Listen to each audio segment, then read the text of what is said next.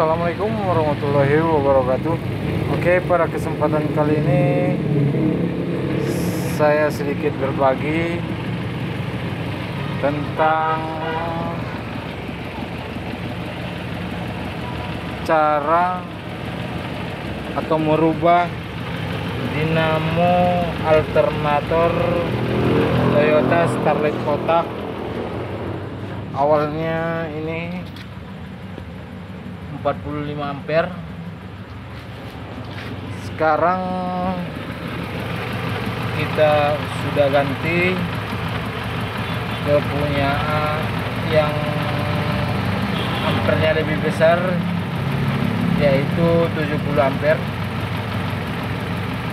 Supaya bisa menyuplai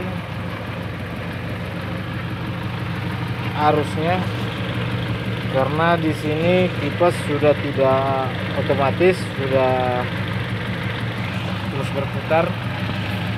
Ini.